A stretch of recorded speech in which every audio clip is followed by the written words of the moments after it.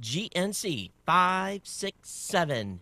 It's Friday, April 16th, and you're listening to the Geek News Central podcast, sponsored by GoDaddy.com. Geek News Central is a member of the Tech Podcast Network. Yes, I know. Uh, this is a Thursday show on Friday. There was no Monday show. We'll talk about that here in a second. I got a lot to catch you all up on. You know what comes next. Strap in.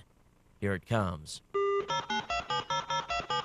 All right, people, I need a go no go for the Geek News Central podcast. Digital archive recorders, We're go fly. microphone, We're go fly. video feed, Go. web browser, Go. RSS data stream aggregator, Go fly. Interflux Toddism suppressor, All right. I'm confused. host readiness check. Welcome to the show. Welcome to the show. Voice print confirmed. The Geek News Central podcast is a proud member of the Tech Podcast Network. If it's tech, it's here.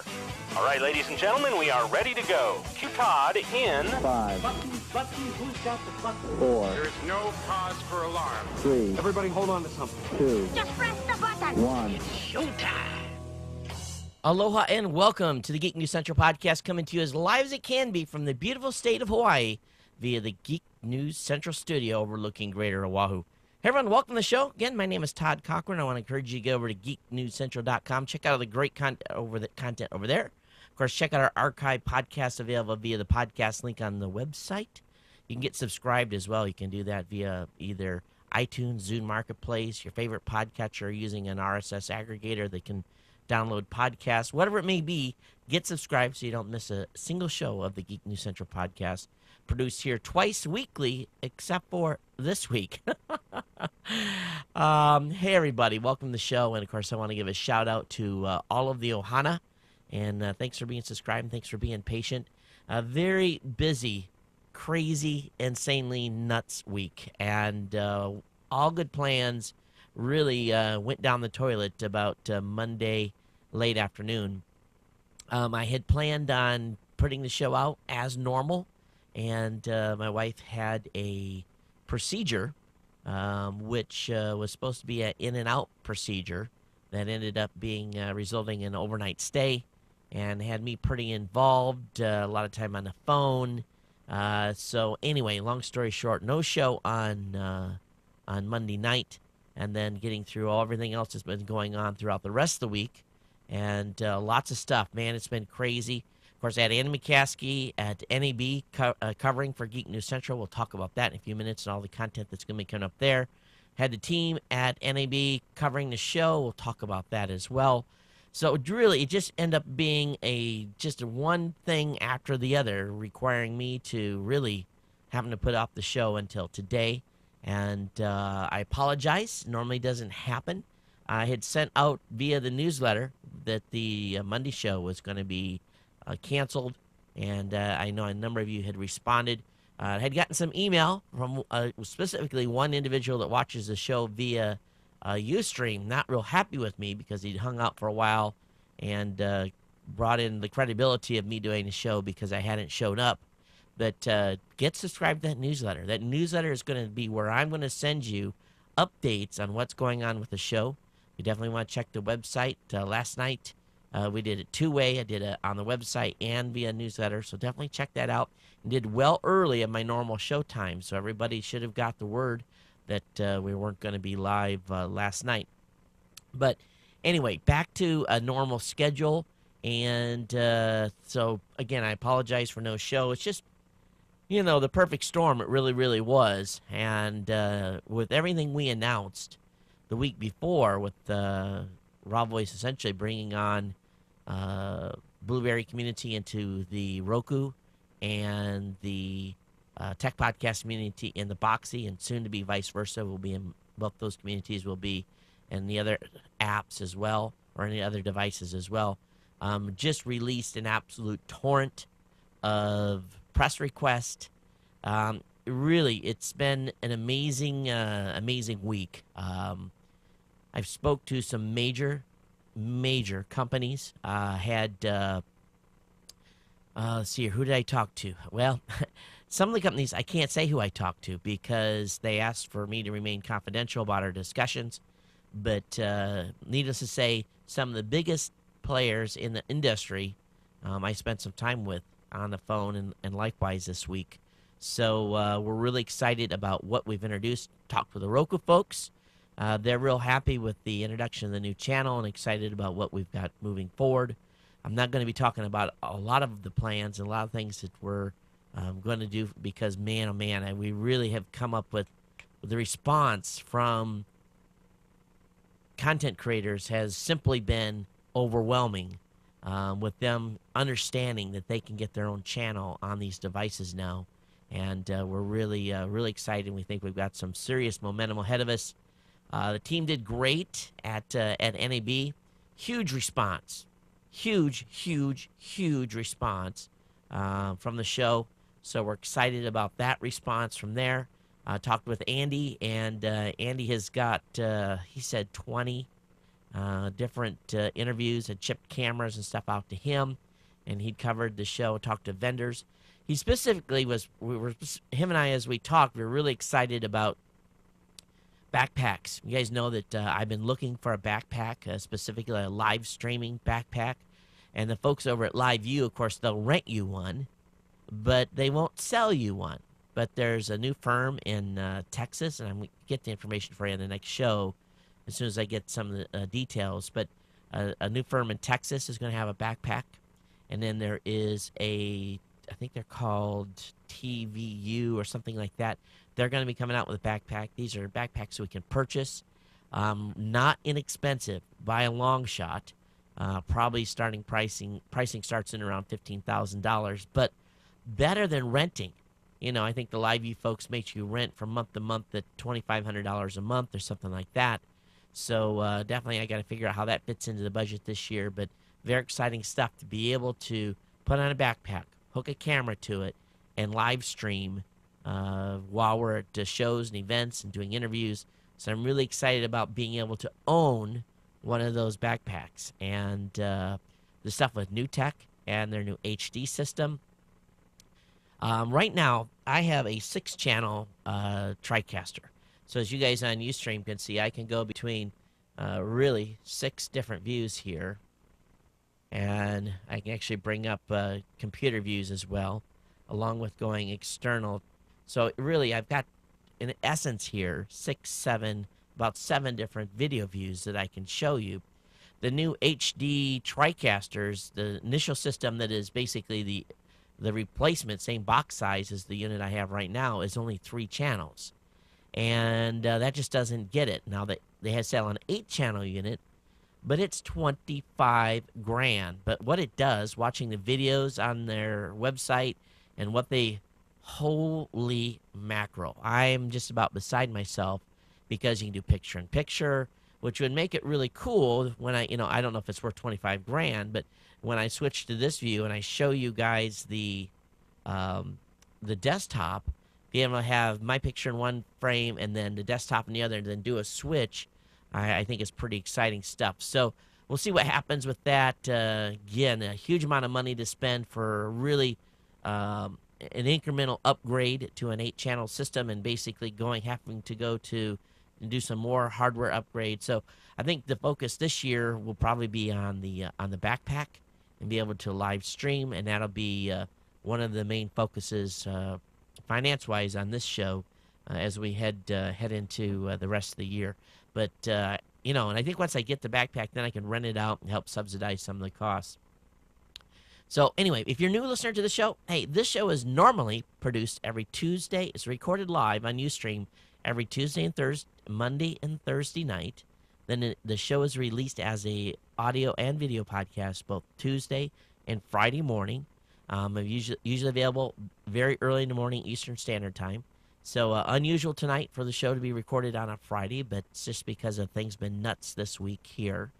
Um, so anyway, just you know, if you want to come join us on live, please do so. You normally we're recorded pretty late in the evening, both Eastern and Pacific time. So keep us in your calendar. Just get subscribed to the show. Uh, we reach about uh, listeners in 163 countries worldwide. Uh, again, sign up for the newsletter. That's where you get all the announcements on what's happening with the show or no show.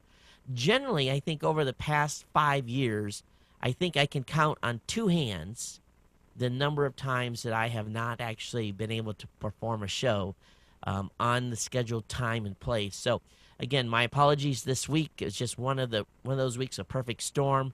Uh, big press, big uh, you know number of uh, vendors that came to that really wanted to talk to us.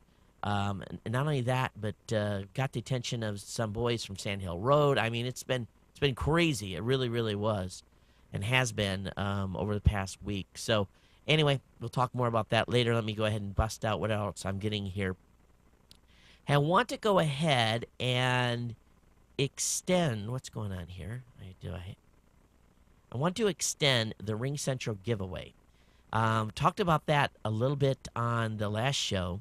Did not get a very big response for it, so I'm going to open. I guess there's not none of you that need essentially um, a basically a very very cool phone system where you dial into one uh, one telephone number gives you a variety of voicemail boxes you can assign its extensions to it to drop it into uh, other individuals uh, uh, call you know basically ring their phone and forward it to their phones or whatever device they may be on so i'm going to extend it through the next show and if you are a small business or an individual that are looking to start a business, think that you could use this, we're giving this away for a year. It's a free giveaway. So you get uh, one person on the show is going to get uh, a Ring Central account for a year, free of charge, and then of course they're going to go into the running for a um, for for the big big prize. That's I guess it's like a, almost a five thousand dollar value with some additional services. So if you're interested in this and uh, want a chance at winning, just email me geeknews at gmail.com geeknews at gmail.com. I remind all of you to set your Wi Fi SSID tags to geeknewscentral.com. And also, for those of you that are supporting the show financially, uh, you, you're going to be getting your first Geek News Central Insider this weekend. So I, I look forward to uh, sending that out. It's going to be absolutely 100% private, only to those that are supporting the show. And if you're if you're considering supporting the show, you can do that by going to the second column of the website and you see Geek News Central supporter. Um, go ahead and click on that link, and that'll get you into uh, to uh, essentially um, get the Geek News Central Insider, and I'll cover a lot more stuff about what happened in the previous week and information we had uh, gotten out of NAB from the folks that were there. Um, what else have I got on my list here? Yep, I think that's it. Hey, if you haven't checked us out on Roku, I go ahead and add the Blubrry channel to uh, Roku, and we're going to your Roku device. We're going to be adding a lot more shows over the weekend, so it's going to grow from 220 shows to probably close to a thousand very quickly. So make sure you do that. And uh, if you haven't tried Boxee out, you can download that check out the TPN app as well. So uh, look forward to uh, additionally additional announcements here in the very near future. Looks like also that I'm going to be going out to Ford. Uh, I got received an invitation uh, by Ford Motor Company to come out to their come out to Debo- uh, Dearborn on uh, I guess 19th of May, something like that, and they're going to bring me in. And I guess I don't know if there's anybody, how many other bloggers or podcasters are coming, but they're going to have us in, and basically we're going to be able to tour their plant and to get some uh, access to some exclusive areas. So uh, it's a reach out by Ford, and we're going to uh, go ahead and, and accept their offer to come out to uh, Dearborn and do a tour. And so we'll be talking about that as uh, as I get the details um, on uh, on heading out to uh, to Michigan for that. I may even try to tie that into a visit to see uh, Mom, and she's in Southern Michigan, so try to see her at the same time when I when I fly out there for that. Uh, we've got a Lenovo Think Center A63 we're going to be giving away in future shows, so make sure you stay tuned to that. Also, I want to give away a Roku tonight. So if you are listening to the show and you can respond before uh, Monday's show, um, actually, let's go ahead and make it. Since I'm recording late, and most of you, some of you won't get the show until Monday, we'll extend the giveaway until Thursday. And uh, you know, just email Roku giveaway. Tell me why you want it. Just doesn't, you know, or what you think what we're doing. Uh, Just comment about what we're doing and going into these devices, uh, these set-top boxes, or as the industry calls them, over-the-top TV or OTT. Um, and just let me know what you think what we're doing there. And uh, on a week from uh, Thursday, or a week this following Thursday, we will give away a, a Roku to a to a listener of the show, and uh, that way you guys will be able to sample the content uh, from this show and others uh, on the device. Okay, let me go ahead and look make sure I've got all my stuff covered here. I've covered a lot of territory here real quickly, and I think that's it. Oh, I didn't uh, mention wife is doing fine. She's okay. I talked about her going in for procedure and staying overnight. She's she's fine. She's doing great. Just talked to her on the phone about five minutes ago. She's uh, picking the kids up, so she's really susceptible to um, uh, going uh, under being gassed. And the procedure they had to do to her was uh, required to uh, basically to gas her for uh, the procedure, and she was really groggy when she came out of that. So the uh, just as a safe side, they kept her overnight as a on a observatory purpose. So um, that's kind of what happened there. Okay, let me see here. Let me go ahead and look at the list. I think that's it. Let's take care of a little business here before we get into the regular content. Hey, if you're looking for a domain name, dedicated server, virtual dedicated server, check out GoDaddy.com. Matter of fact, I've got a cool video I'm going to be embedding um, into tonight's show. Um, you'll find it if you watch. Basically, if you are a subscriber to the video podcast, you'll see the video at the end of the show as kind of bonus material. And I'll try to put it up on the website as a one-off link to it as well. Uh, definitely check it out. It's a, a, link to a pretty cool announcement and uh, information from GoDaddy, some promotional stuff. So check that out. But uh, you know, if you're looking for a dedicated server, virtual dedicated server, shared hosting account, GoDaddy really is the place to go. And I can save you a lot of money by going over to GoDaddy and picking up one of their, uh, using one of my promotional codes. And actually, let me go ahead and switch this page on here and take that off.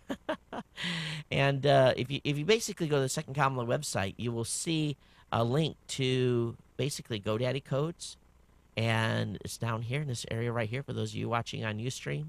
But uh, if you use the promo code ComSale, seven dollars and forty nine cents on .coms, Todd will save you ten percent on uh, non-domain orders. Geek Five will save you fifteen percent on any order twenty dollars or more. Geek will save you five dollars off any order thirty dollars or more. One of them, one of them that's really, really popular right now is the Aloha code A L O H A. Twenty dollars off on any order seventy-five dollars or more. And of course, one of our other most popular codes is Todd Twenty. Will save you twenty percent on a one-year shared hosting account at GoDaddy.com. So, thanks for GoDaddy for being a longtime sponsor here at uh, at Geek News Central. Along with that, of course, uh, great product GoToMeeting. Just absolutely love using this uh, this product. Matter of fact, I was using the GoToMeeting, um, the iPad app, um, the Citrix iPad app, at, and it was really uh, pretty handy to use that as well. But you know, anytime I can avoid getting my car or getting on an airplane to fly somewhere, I do. And that's why I have been using GoToMeeting to hold my meetings online instead of wasting time and money sitting in traffic or on an airplane. GoToMeeting, brought to you by my friends at Citrix, is the easiest, most secure way to hold an online meeting. Uh, you know, we have found during doing uh, roundtables and different presentations, even if the individual has something to show me and they've never used the product before, really you can make someone a presenter by just doing a little click on a button to a, a menu item, and it takes no training to run uh, run Go meeting. I don't know if I would get in trouble with the folks at uh, that sell the car insurance, but, but yes, even a caveman could do it. It's that easy. I'm sure I just violated somebody's trademark or messaging, but uh, you know they see your computer, you can see theirs if they so chose to show it to you. Um, it's great for sales presentations, training sessions, product demos, you name it. And really, it's affordable. $49 a month. You can hold as many meetings as you want. And what's cool within a company, in the office, you know, share that username, password, log in, you know, do the, uh, uh, do different demos. And it's really perfect. Perfect. It even includes phone and voice over IP. So again, my listeners can get GoToMeeting free for 30 days. That's a month of online unlimited meetings free for the for this special offer visit gotomeeting.com slash tech podcast. That's gotomeeting.com slash tech podcast for your free 30 day demo. Thanks for GoDaddy for being a, a GoToMeeting for being a sponsor here at Geek News Central. All right, before I bust into the regular content, I want to show all of the um, what I want to do. I do want to do this early, so those of you that are not uh, normally watching the video podcast, we are at about 19 minutes and 48 seconds um, for those of you listening on audio, if you want to load the video up, what I'm going to do is I'm going to show the uh, the iPhone app submissions. Okay, so we've had an iPhone app contest running. I've asked for design submissions to uh, have come in. They're basically everyone's got their uh, submissions in. I'm going to run through these really uh, quick. And the first one I'm going to show you is by uh, is by Tom over at the Fogview Podcast, and he has got uh, an app design that uh, I I like. I really do. Um, there's an, there's really all of them are great. I'll let you guys look through all all three choices. I'll, I'll provide some screenshots uh, um, in a zip file. I'm going to make uh, make available to be downloadable. I'm not going to show you all their write ups because I kind of consider that a little bit proprietary. But basically, he's got it here set up so that uh, individuals can read the blog, then they can. Uh, let's see if I can bring this over. Look at the podcast, and then that links to the either the audio or video podcast so that you can uh, listen or watch. You got a, he's got a Twitter interface in here so that you can see the recent tweets that I have made. And then what I think is really cool is he's got an area that's called Contact uh, GNC. He's got a section where you can click on the um, on the uh, on the link. You can email a comment to the show. He's even got a, a recording device in here, so you can record an audio comment and have it sent immediately uh, via email to me. He's got uh, several different uh, uh, website links, GNC website via Safari, GNC on Facebook, uh, GNC on Twitter, and then a, a link to where in the world is Todd. So it's a pretty cool um, app. So um, again, blog, podcast section, a Twitter section, a contact section where you can actually record an audio comment, all in a very simple to use um, interface. The next submission comes from uh, one of our longtime uh, listeners of the show. This is Sam out in uh, in Albuquerque, and he's got it so when you load the app up, boom, you can you can immediately hit play, and and uh, and listen to uh, the show, or there's a oops, I hate it when that does that. I didn't push the. Uh, I was trying to make this so I, everyone else could see it here. and uh, it helps if you watch what you're doing with the mouse.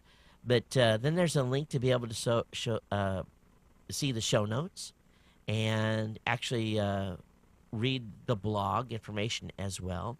Um, details here on how you could actually um, submit a uh, subscribe to the email via the uh, via the app itself. So he's got some pretty good features here. It's basically contact, newsletter, episodes, and show notes. Uh, the only thing I don't see, Sam, in here is how you're going to bring in uh, both the audio and the video. Uh, there's three feeds for the show. There's audio, video, and a special media feed. So I'm not sure how you've got that broken in there, but I like the design as well. Very clean, very easy to use. So um, again, we'll have some pictures of these um, available for everyone to take a look at. We're going to vote on these. So you're going to have to start sending in your emails basically to geeknews at gmail.com and, and letting me know which design you, you like the best. And I'll have that information in the show notes available where you can actually look at it. Um, the last one, let me see to bring this up in a Word document here, um, is the basically there's a change the zoom on this. Okay, that's good. You've got the app logo, and then you've got the ability to look at the audio, video, or special media feed. Then he has this uh, link in there to be able to look at the Twitter, the latest Twitter announcements, and then you've got the availabilities to send an email and leave voicemail. Now, I don't know what happens when he clicks on, or when someone would click on the leave voicemail. Oh, it says a button to call your voicemail line. So this would actually link, uh, dial the actual uh, voicemail hotline, and you'd actually be able to use your telephone to to leave a voicemail. But he also breaks it down where you can see the blog and audio feed, um, show notes, and then of course the player that would come up. So all this is pretty much some, you know, a lot of similar functionality here to uh, to the other apps. So I think the best thing I can do is, you know, provide you guys some screenshots to look at in a download, and then you guys vote on it. You guys tell me which app you like the best or best submission, and then I will um, uh, take probably votes for a week. And um, let's see here. The last submission was by. Let me actually bring up the email here, so I make sure I've got everyone credit where credit is due. I believe it was from Ryan. Let me look at the name. Name. Name. Name. Name. oh boy, let's see here, who it was from Jason actually, Jason Clara. So we got Sam, and then we also have um, uh, Tom from Fogview Podcast. So three entries, and I the way I, I showed them to you guys was Tom, Sam, and Jason, and uh, we'll get uh, we'll get those out and have a link. You guys can all take a look, vote on them, tell me which app you like the best, and the app that is uh, voted upon the most favorably, we will hire the developer to produce the iPhone app for the Geek News Central podcast. Oh, great. Let me go ahead here and um, switch back to regular content. That's what you guys all came for. And as expected, I figured the room would be, uh, the uh, uh, show would be pretty long tonight. Let's see here. Got to bring up. Actually, I'm using uh, Firefox tonight. I was kind of uh, out of my element, having not done a show in a week, and uh, started loading stuff up in Firefox. But so far, it's uh, it's holding tight. All right, news out of uh, news news and rumor front today uh, over at arstechnica.com. Uh, there's a report that uh, AMD and Apple may be in talks. The rumor du jour is that everyone's favorite tablet maker is considering AMD for a spot in the Mac lineup. The folks over at Apple Insider allege that AMD execs have been pitching Apple on the chipmaker's upcoming product roadmap, and the two parties are in advanced discussion about putting AMD in some Apple products. This would be big. This would be a big coup by AMD if they were able to do that. Now, it'd be interesting to see how that fits in with the strategy in that Intel has really been, you know, king of the hill performance wise, and they've really invested heavily in the Intel infrastructure for for Mac. So we'll see what, what happens with this. Um, don't know how much of a adoption phase there is, but we'll see if any rumor or anything develops from this over the next uh, couple of weeks. All right, there's an iPhone OS 4 jailbreak available. Enables multitasking on 3G. Now, what I find funny here is that the iPhone iPhone 4.0 beta, which I guess has been available to, to just devs only, uh, and is set to ship later this summer, and has already been jailbroken. The iPhone dev team has released a preliminary beta of the of the jailbreaking 2, and they're saying it's not for the casual jailbreaker. So we'll see what happens here. So they're if you have got a hold of the iPhone OS 4 beta and you want to jailbreak it, uh, hey, knock yourself out. It's a, I guess it's available. So uh, have the link up to this in the show notes for you.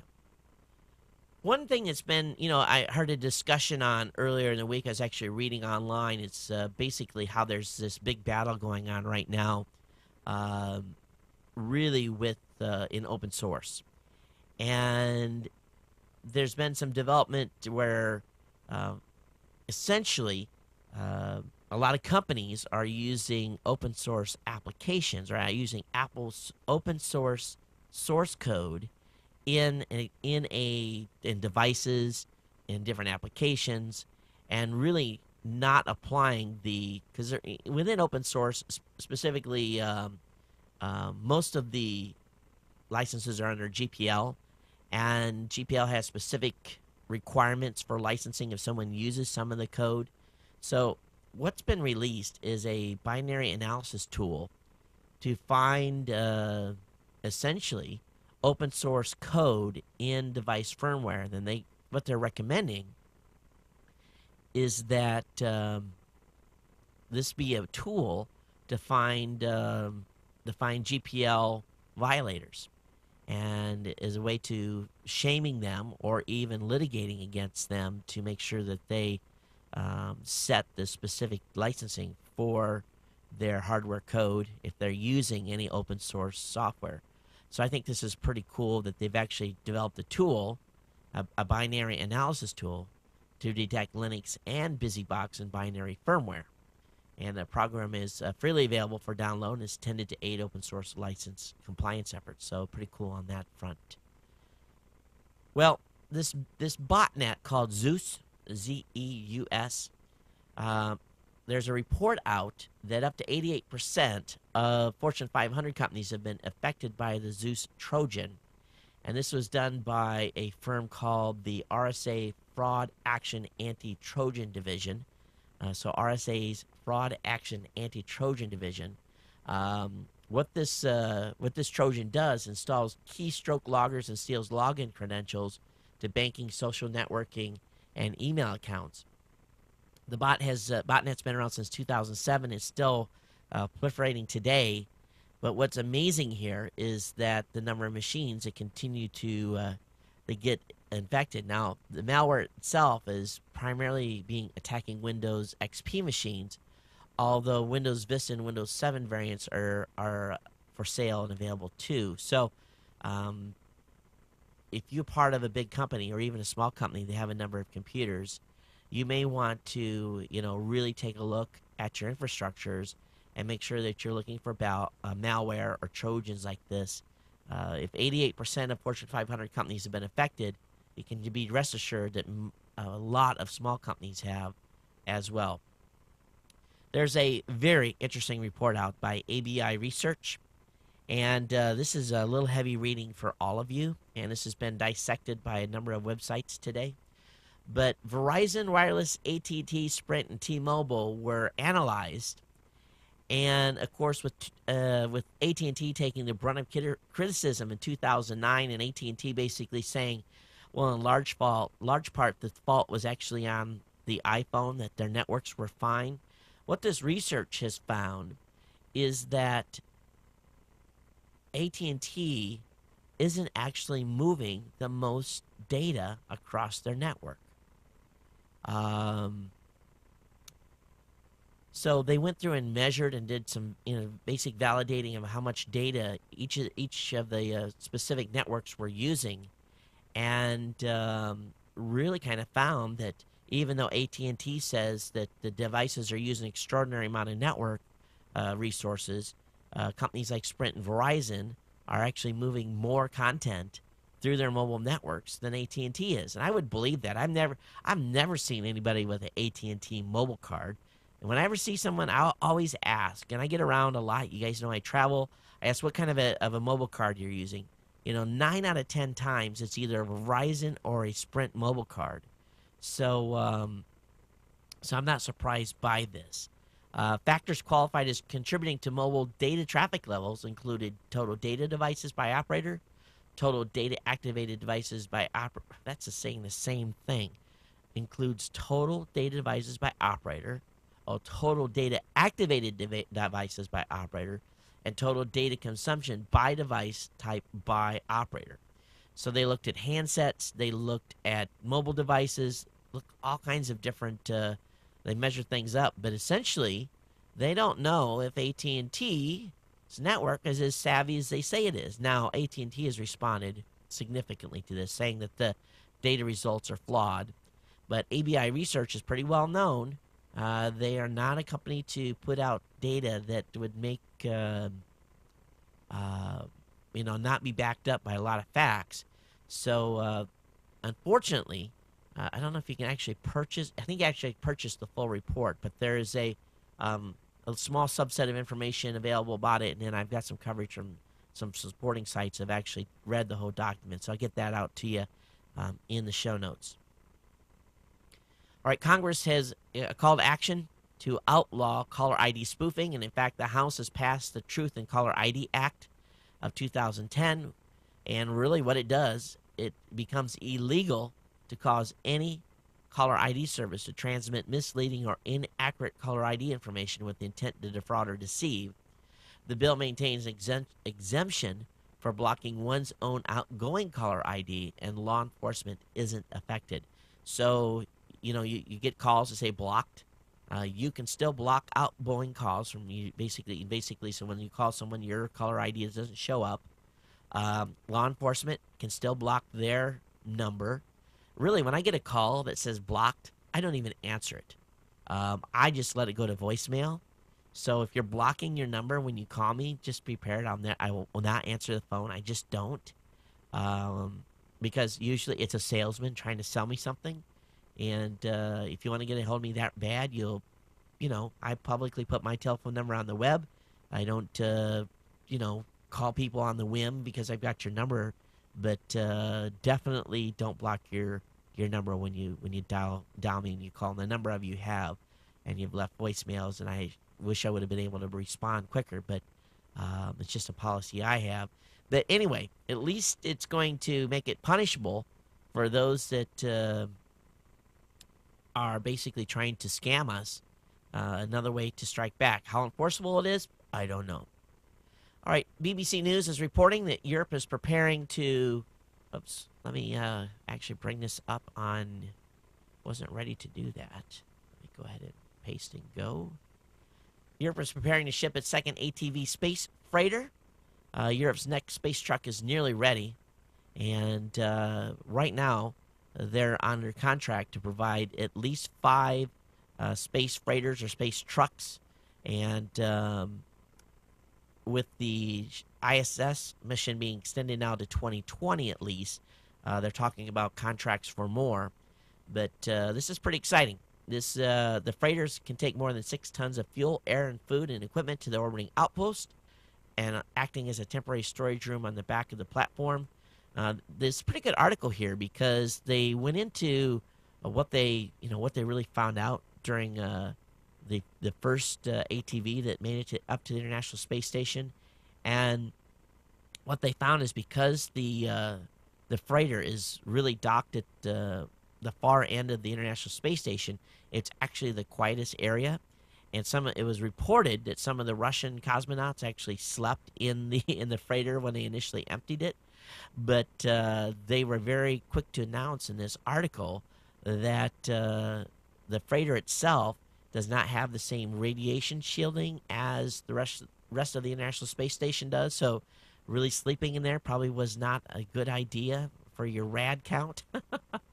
but uh, they plan to launch this in November, and of course, it'll be an equatorial launch. Um, I believe the French are the ones that are actually. It's going to go up on Ariane five, so they go to uh, French Guiana, and uh, the rest of it will be assembled there. But uh, look for a November launch, December delivery at the uh, International Space Station. Of course, they'll fill that thing full of garbage and then uh, punch it back, and it'll burn up in it during its uh, its deorbit.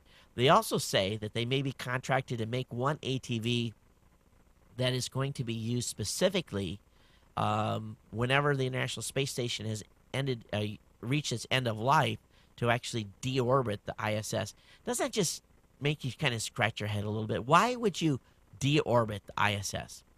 Okay, you get to a certain point. You, we've lifted all that hardware up there. It's in space.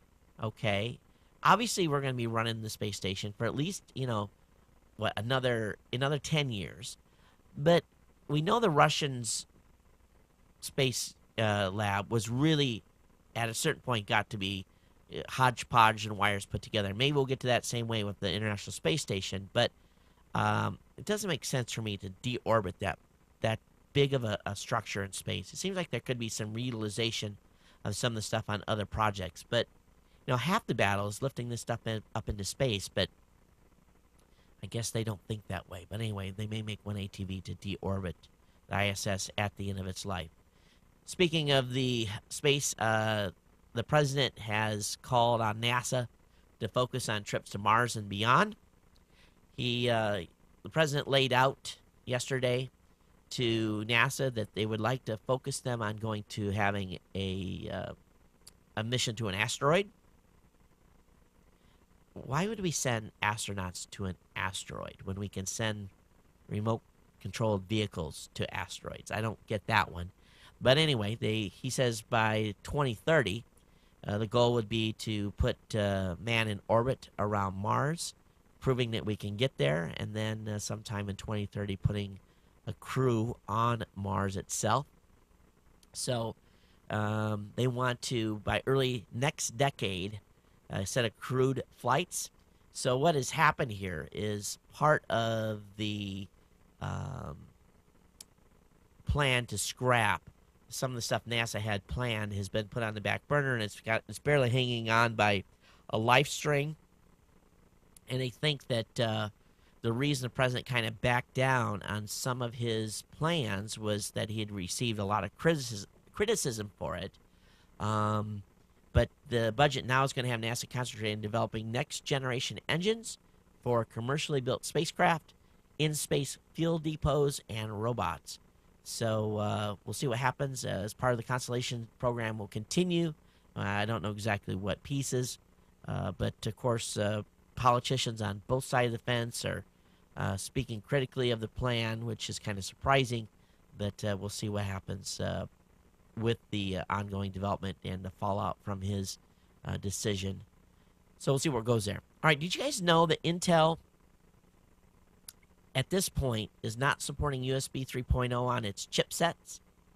And I was pretty surprised to hear that. Now, companies that are bu- building new motherboards uh, are obviously putting it internally on their own boards. But Intel, I don't know if this is a play by Intel for Light Peak technology. If you guys remember when I went to CES, we talked to Intel about Light Peak and they demonstrated it for us and they were very clear that they, you know they're not in the uh, position to to do uh, setting policy on Light Peak. They want it to be a you know something that is going to be a um, discussions generated within the industry.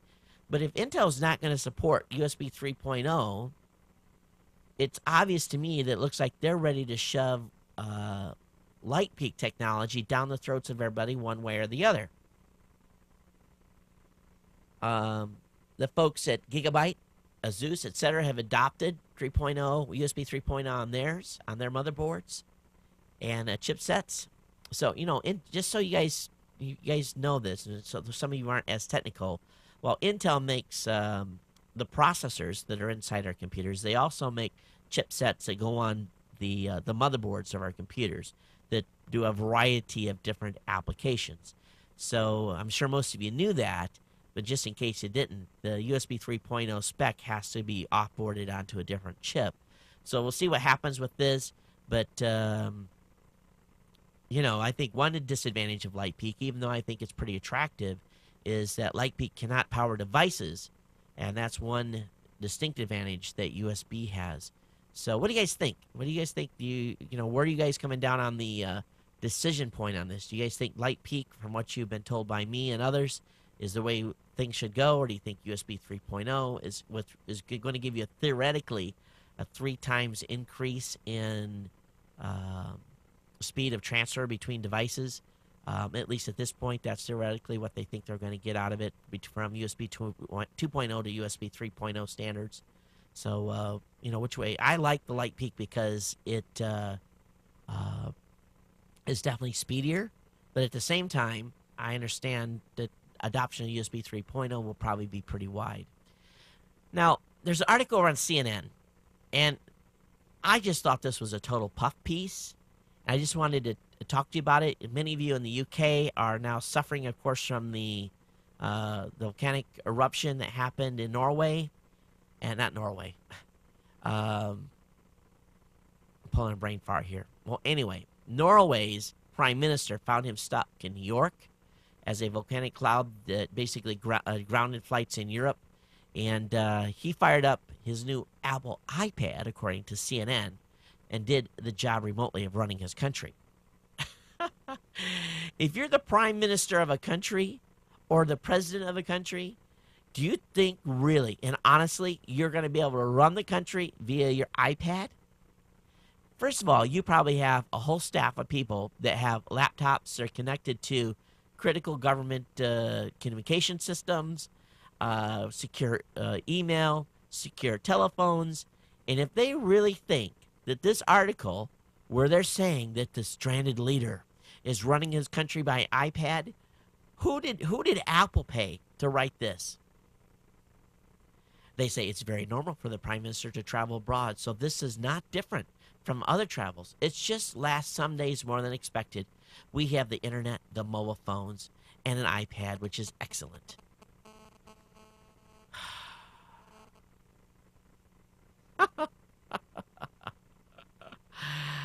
uh, yeah. Okay, he's running the country with his iPad. Gotcha. Uh, I wonder how much uh, Apple contributed to his uh, reelection fund in this country. All right, Twitter gives a lowdown on its new business model. And uh, wow, well, I think we all knew this was coming. And uh, so, really, sponsors, why, why am I getting feedback? Is that coming from that phone? Let me move it over here. Um, basically, companies can sponsor uh, searches, tweet searches. In other words, if you go in and search for uh, CNN or Fox or somebody like that, you'll basically the first tweets in the list of the search results will be that company, and the second will be commercial accounts where you can get analytics on uh, how the uh, click throughs have been. You can already do that. There's a lot of great stats you can get uh, through third party services already with Twitter, so I don't know why they think companies would just pay uh, Twitter directly for that. Um, I don't know. We'll see. But uh, I guess commercial accounts are in beta testing. So be watching your searches. If you guys capture one of these paid Twitter searches, uh, send me a screen capture of it. I'd love to see how it's formatted and, and what it looks like. Of course, there's some, been some announcement, of course, with additionally with Twitter on some new API developments, which are pretty exciting. In that you'll be able to have they're essentially introducing what's called a namespace. And imagine me being able to put um, a namespace that would be uh, podcast equals or some sort of a tag that would drive um, a link onto the Twitter post so that you could actually uh, have a direct link to the uh, to specific information. Um, so anyway, namespaces are coming, so that's going to be cool. And the implementation of that is going to be uh, probably a fierce battle, uh, and uh, people trying to race to capture namespaces. But we'll see how they how they implement it in their SDK. All right, the MPAA and the RIAA doesn't uh, doesn't take too long for them to be out of the news in order to uh, want to rile people up a little bit by announcing some new new anti-piracy measures. Movie companies and recording companies. Let me actually flip this over. This is over at uh, tgdaily.com, and I'll bring this up in the uh, in the browser for you. I forget I could don't have that up. Um, what they're saying is that uh, the Motion Picture Association of America and the Recording Industry Association of America have submitted a series of requests to the Office of Intellectual Property Enforcement. They want spyware to be installed on all computers to detect and delete pirate. Of course, you guys are seeing the ad on on UStream. They want it spyware to be forcibly installed or pre-installed on any computer detect and delete pirated material. Wow. They really want this to happen. They want technology to detect and monitor filter traffic or specific files based on analysis of information such as protocols, file types, text descriptions, metadata, file size, and so on, as well as content recognition technologies such as digital hashes, watermark detection, and fingerprinting technologies. They want current regulations to allowing the blocking of offending sites to be excluded to allow permanent bans for repeat offenders.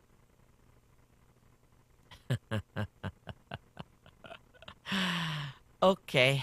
Well, I wonder how far they're going to get with this one. We'll keep an eye out for you. We'll keep you informed.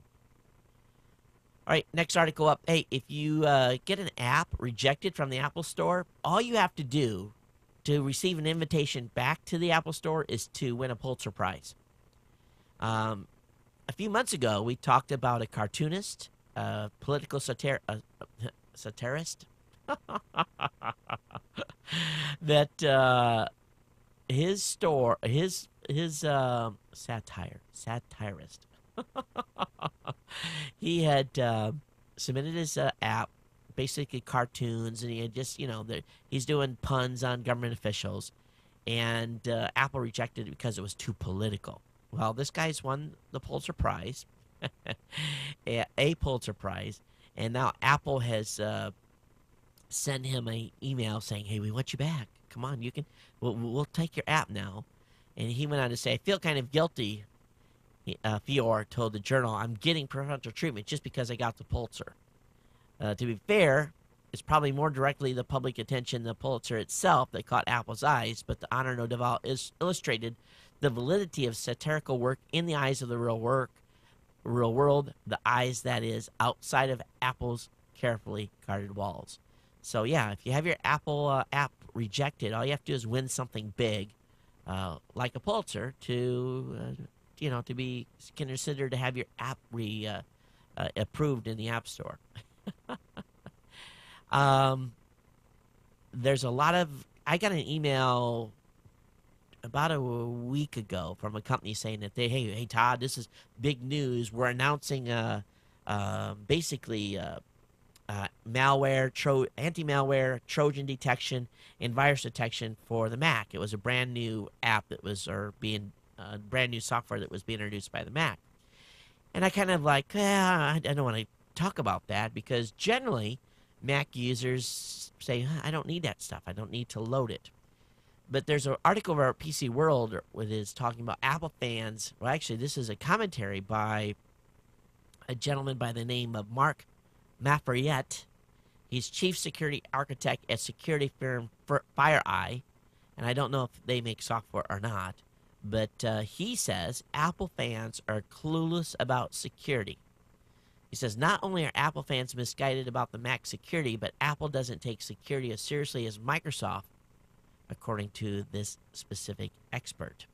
So I'll have this link up in the show notes, and I know this is probably going to raise a lot of eyebrows, but um, in an interview done by CNET, he claimed that Microsoft takes security more seriously than does Apple, and that Apple fans are being ignorant about security risk. And uh, he says that he believes Microsoft does one of the best jobs in industry around security. As for Apple and its fans, he has very little good to say, saying that the Mac is vulnerable and its fans ignorant about security risks. What do you guys think? What do you Mac users think? Uh, let me know. Love to hear your feedback. Geeknews at gmail.com. Voicemail hotline is 619 342 7365. All right, this nine year old uh, out in Virginia, actually, Fairfax County Public School District, is uh, not real happy about a third grader because uh, he was smart enough to hack into the Blackboard learning system used by the county school system, and he changed teachers and staff members' passwords. He uh, was able to change or delete course content. He could have, oh, he could have changed or deleted content. And uh, one of the victims, I guess, was Fairfax Superintendent Jack D. Dale. So imagine, here's this nine year old third grader who all of a sudden in the Blackboard system become the only uh, third grader to have administrator privileges. And the IP uh, log showed that he'd been uh, wandering around and, uh, you know, going after doing stuff to, you know, like the superintendent. That's a great way to win friends and influence people. But uh, I guess the police decided and school officials decided no harm, no foul. They said the boy did not intend to do any serious damage and didn't do so. So the police withdrew and are allowing the school district to handle the uh, the third grader. Which goes to uh, tell you that uh, maybe the folks at Blackboard need to get a handle on their security a little bit. Uh, if a third grader can hack it, imagine what would happen if uh, a fourth grader was able to uh, to start targeting the device.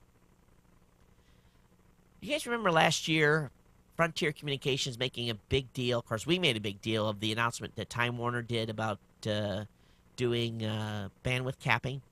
You guys remember we we just you know we went to battle. All of you did, especially those of you in the areas uh, that was initially going to be rolled out in Texas. I you know we did a big battle cry here. We had a lot of uh, commentary about it, and uh, as well did many other publications and folks that were putting out content. But a company called Frontier Communications are now testing. Of course, they were one of the companies that was crying foul about uh, what Time Warner was doing. They were really, oh, this is horrible what they're doing, and this is, should not be allowed, and so forth. But according to a letter being sent to Frontier users in Minnesota, users who consume more than 100 gigs a month are going to automatically have their bills bumped to $99 a month. And users who consume more than 250 gigs a month are having their bills bumped to a staggering $250 a month. Users who don't respond within 15 days get their service disconnected. And, uh, but again, this is a company that is in one of these areas that has no competition. Uh, they have invested almost nothing. It is reported that they have invested almost nothing in their network services. And that right now, the average user of their service gets a maximum capacity of about 3 megs per second. So, uh, wow, after criticizing Time Warner, and now they're going to impose caps and uh, essentially, well, they're not imposing caps, they're just putting a rate increase uh, as a way to overcome, you know, threaten people with a bigger bill to uh, lower the amount of usage so that their network can consider, continue to survive without investing money. Um, are you a Frontier internet user that listens to this show? I'd love to hear from you. I really, really would. Let me know what you think. Send me a copy of that uh, of that mail that you got, or fa- you know, scan it and fax it to me, or you know, email it to me. Uh, geeknews at gmail.com, voicemail hotline 619 342 7365. All right, I've always told you guys be careful where you post your content, be careful where you build your communities, be careful about protecting your own brand because you never know when someone is going to make a change in their service policies that is going to affect you negatively. Ning has announced to its 2.3 million network users that they are going to make you start paying. Uh, we've had a good response uh, at Geek News Central on the article that was written by one of our uh, contributing bloggers. And, um, but if you don't pay up, your public site is going to disappear. Uh, the uh, CEO of the company, in an email to uh, 40% reduced staff, uh, told his uh, company that they're going to focus completely on premium offerings. You don't pay, you don't play. So what you got to pay now is the service offerings includes faster access to Ning support staff, ten to hundred dollars per month, depending on responsiveness. Custom domains at five dollars per month. Additional storage and bandwidth at ten dollars per month. Removal of ads with the option to bed your own at twenty-five dollars per month. And get rid of the link at, at the bottom of every page that asks users to create their own social network is an additional $25 a month. So if you add that all up, 25, 25, they're 50, plus 10 is 60, plus another $5 is $65, plus at least 10. It looks to me that if you want to uh, basically uh, utilize all of the services that they're going to make available as a premium service, 75 bucks a month, or you don't play at all, or maybe as little as $10 a month. Um, I never set up a Ning network because another walled garden, you can't build a community there without uh, risk of something like this happening. I'm telling you guys, set your own destiny by creating your own brand. Set up your own domain name, set up your own website. There are so many different different plugins, different applications that you can use, forums, software, you name it. Uh, control your own destiny. Don't uh, don't rely on some company that's going to charge you more than what it would cost for a dedicated server every month to run a community website. So we'll see.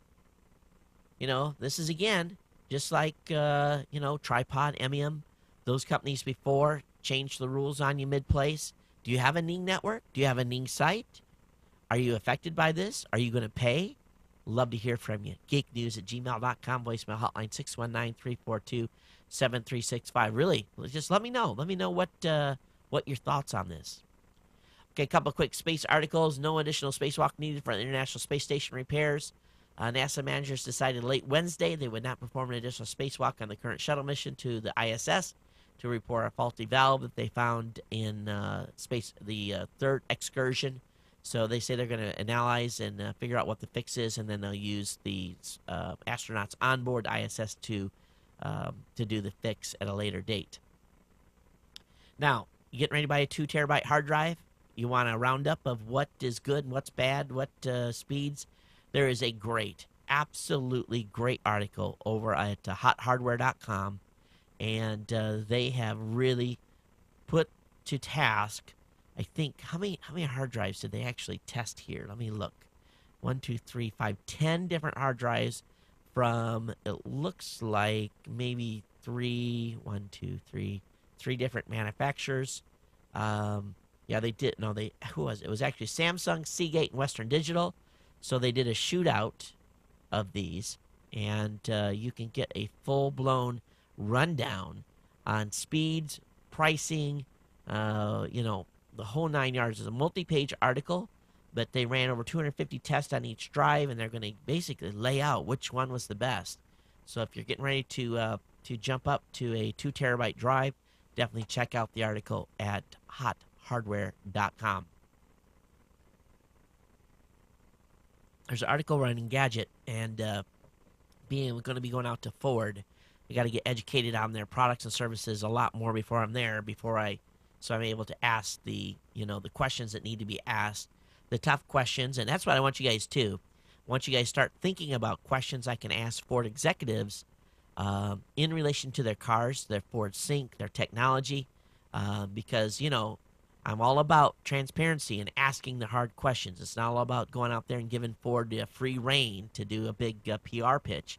But uh, if you have questions you want asked of the Ford uh, hierarchy, uh, when I do my trip in May, this is going to be a great time for you guys to, you know, have me ask hard questions and get direct answers.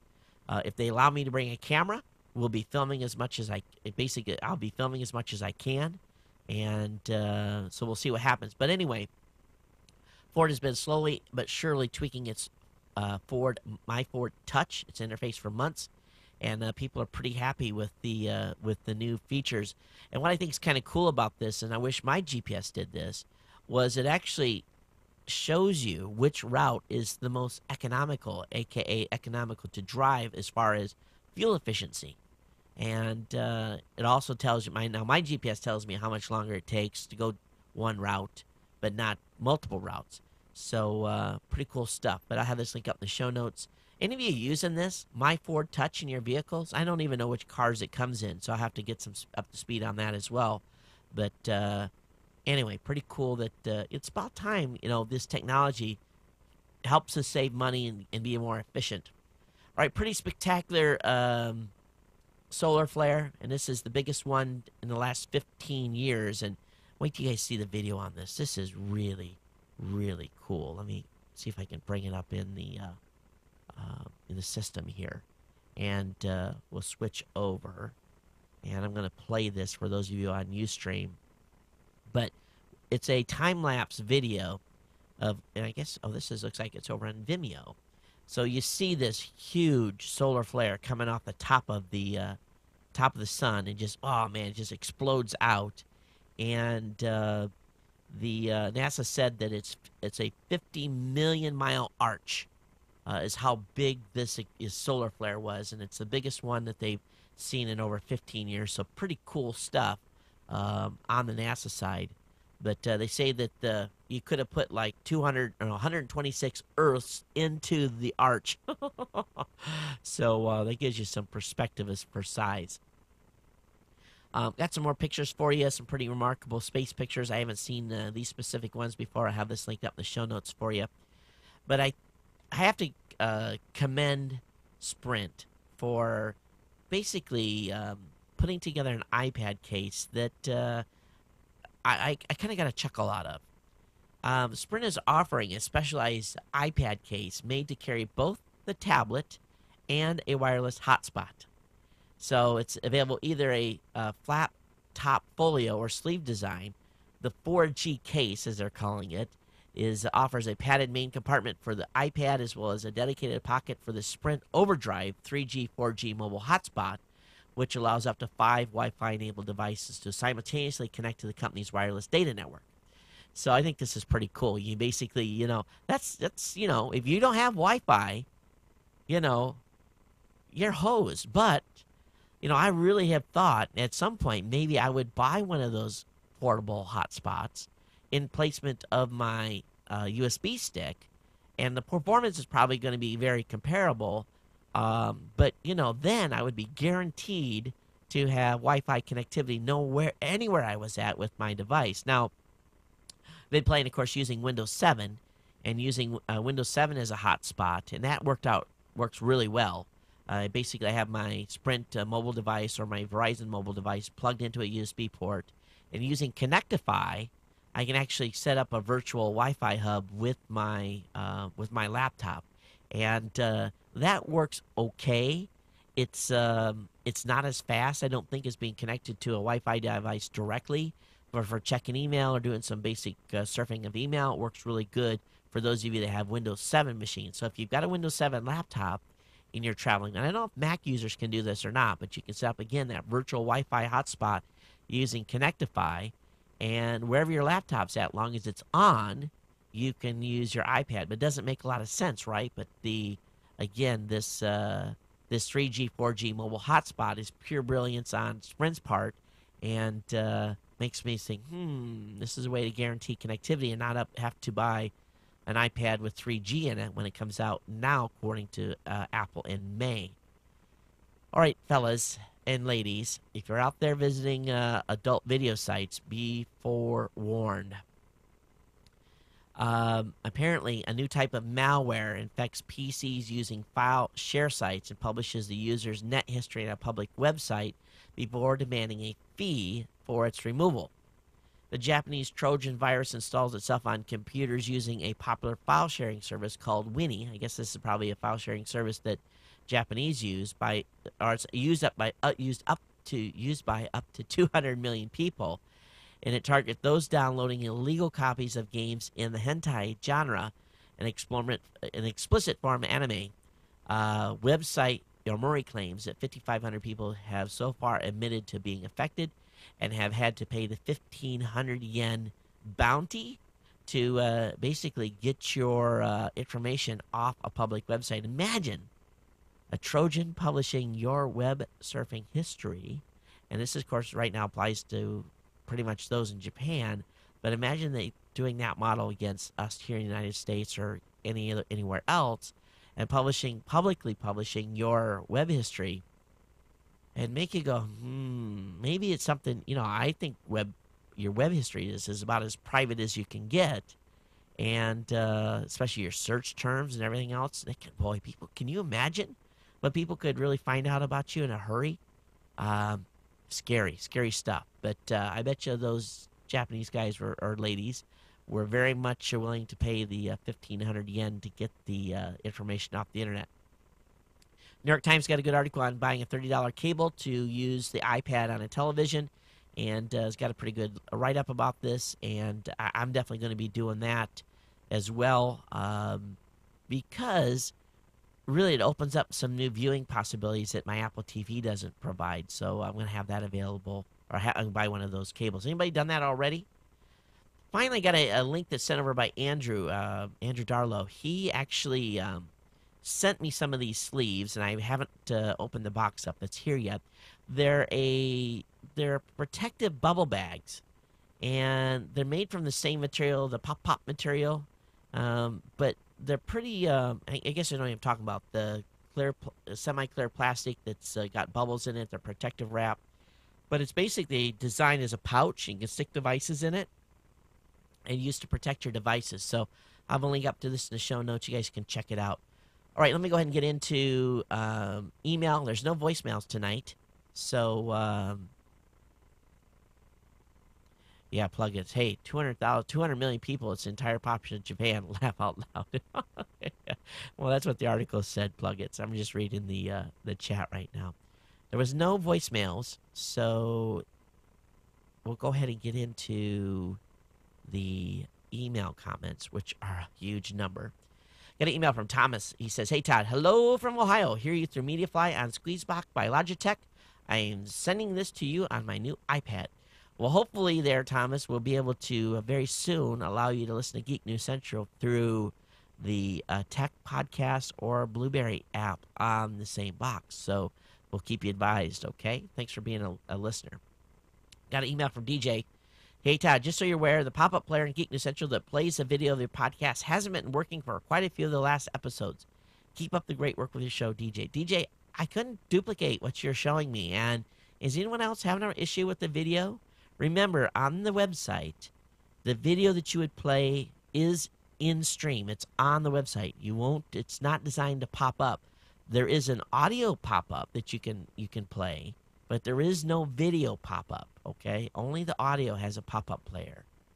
Got an email via Twitter from Steve. He said, Hey, congrats on the new distributions. Might give me a reason to buy one. In other words, aka Roku, or start a podcast on my own. I hope you do that. Uh, thanks for the thanks for the twit. Um, got an email from Bo. He said, "Hey Todd, a lot of non-European people, a lot of non-European people mix Sweden with Switzerland." yeah, I'm a knucklehead. Yes, Sweden is in the nor is in northern Europe, and Switzerland is between Germany and Italy. You're right. I'm a knucklehead. Thanks for thanks for the clarification, Bo, and uh, I'll keep that straight. Okay. I like you and your show, and if you're a bit confused about the European landscape, I knew it. I was just being dumb. Thanks, man. Got an email from Jim. He said, "Hey Todd, yeah, go buy a 3G iPad and, and use all of AT&T's 3G sent from my iPhone." Thanks, Jim. Uh, got an email here from Frank. He sent me a link to. Waiting for the email to load. Uh, the IT person involved in the webcam gate of that school has invoked his Fifth Amendment rights. So I have a link to that. So article over on Philly.com be in the listener links. I got an email from uh, Steve. Hey Ted, I thought I would mention a low-cost solution to fixing the audio buzz you get when hooking up a computer to other audio devices.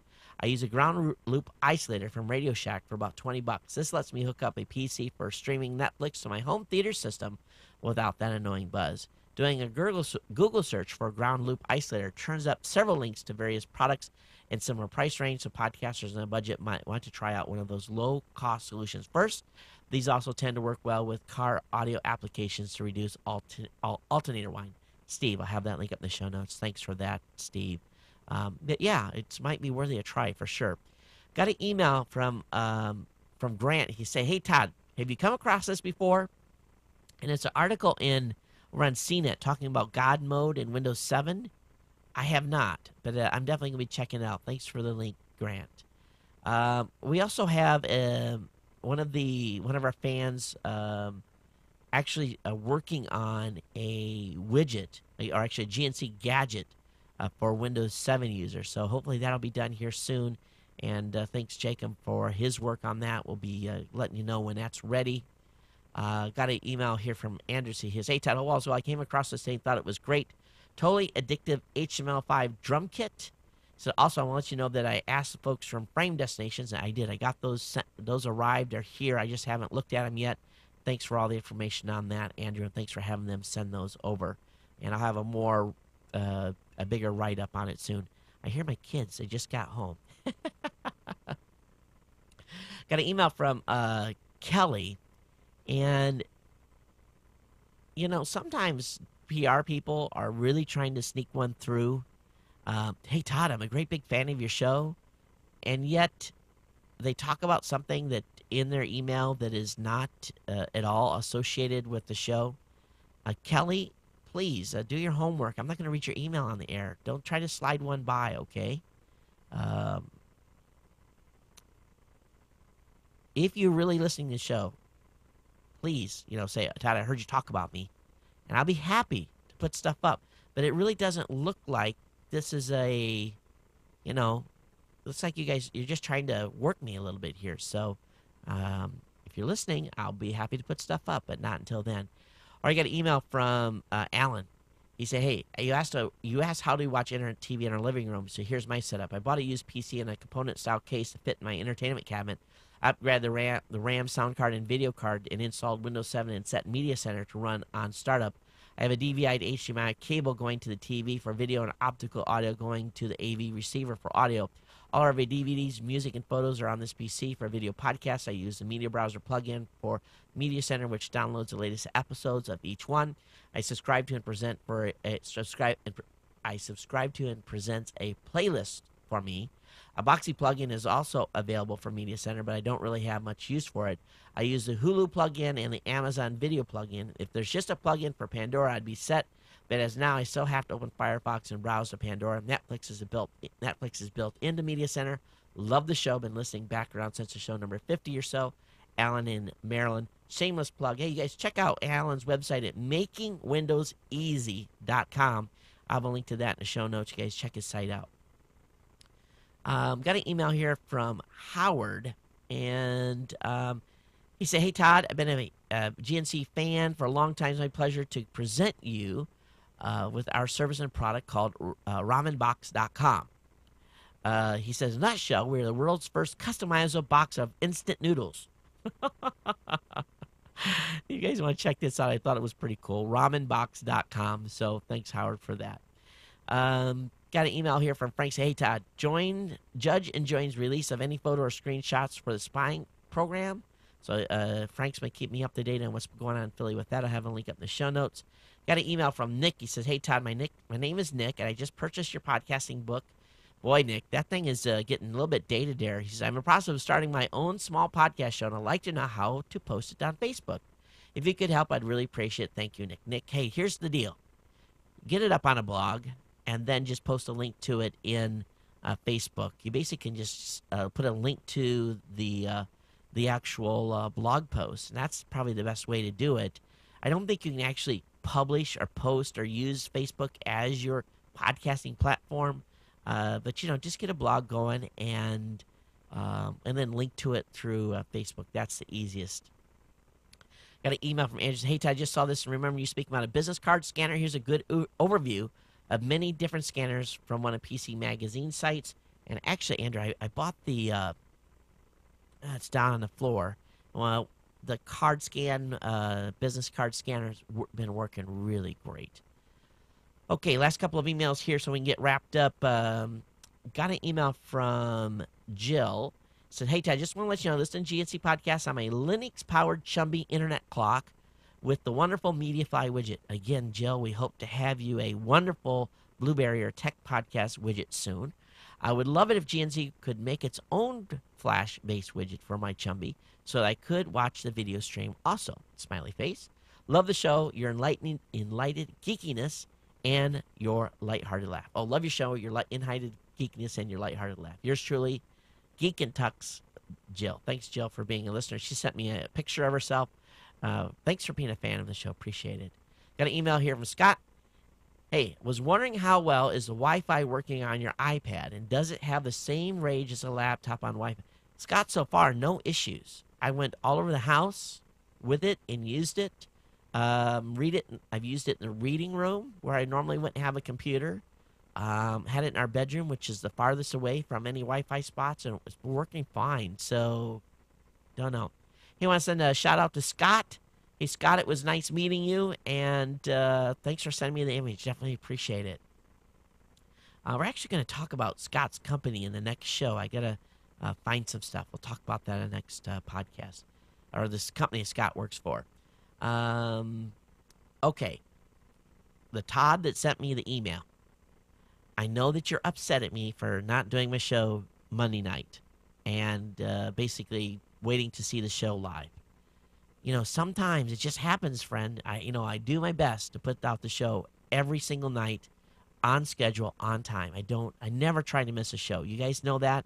I think, as I said in the beginning of the show, 570 or what are we, what are we up to tonight? 500 and let me look at the show notes so I give you the exact number. Tonight is a 567, and you know I've done 500 and probably 557 shows on schedule, on time, every time. Um, I think that uh, during CES, I usually take off. That's two shows for every year I've been to CES. I took a vacation where I found a substitute.